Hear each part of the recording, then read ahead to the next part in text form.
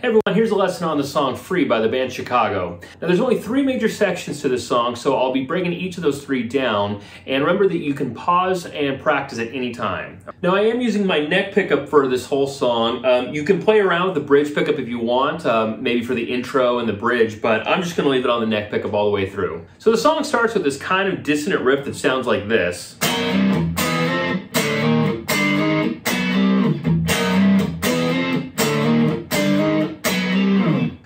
That basically is is a B power chord sliding to a C power chord, and then an E power chord sliding to an F power chord.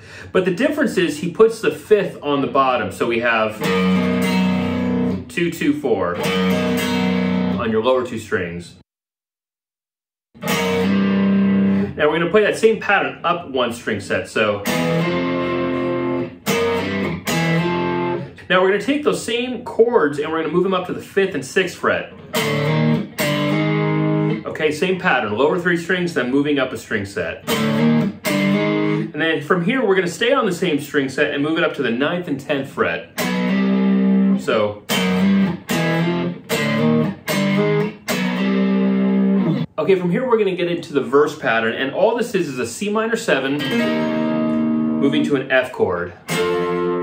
But we can simplify that a little bit with just playing the 8th fret barred across uh, on the uh, D, G, and B strings. So basically C minor 7 without the root on it. And then all you have to do is move that up two frets for the F chord. Now, rhythmically speaking, um, there's a couple things I want to talk about. Um, if you want to follow the Terry Kath version, which of course is the original, he's doing a very rhythmic pattern. He's starting with this. Da -na -na -na. But, um, and, and, that's totally fine. That's totally valid because it's the original. I will say that does get hard to sustain over the course of an entire song. And also, Keith Howland, the long time, I mean, like 37 year guitar, guitar player for them, he simplifies that just a little bit to something like.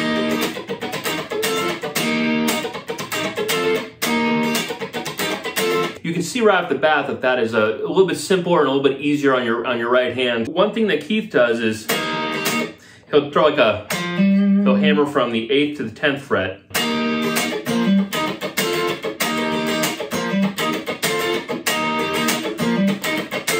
And I know that I'm kind of doing some variations, and that's that's a tricky part, uh, part about teaching a song like this is that it is so jammy, it's so funky that kind of almost every time may not be the same. So that's where I think you can use your own creativity um, to, and, and, playing a course along with the original to um, kind of get your own feel to that. But that, that should be a really good starting point for you guys. Okay, so we play that pattern all the way through the verse or what you could call the refrain.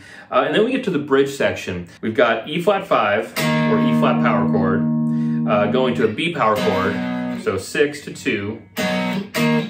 Then G to B flat So that's three to six. And then we finish off with an F. So altogether, rhythm with a rhythm, it's going to be and all 16th notes as you can hear. Now from here we're going to do a G to B flat. And then we're going to do G, A, F, G. So three, five, one, three. Uh, and then we go back to, we play that over again.